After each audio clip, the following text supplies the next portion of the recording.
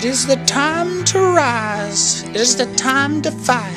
It is the time to join some fellow hymn singing women for the fight of our lives.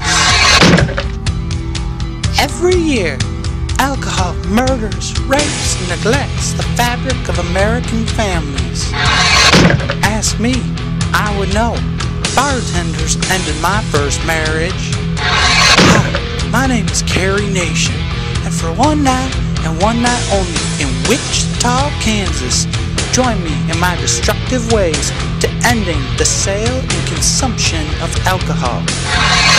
In June 1889, I heard from God to go to Kiowa eastern Kansas.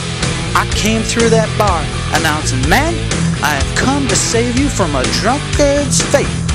I destroyed that bar, days later, God saw this vision in the form of divine intervention. A tornado came and destroyed the saloon and two others in the area. Hey, hey, old lady, you don't know diddly about the uh, pour for uh, or distilled beverages?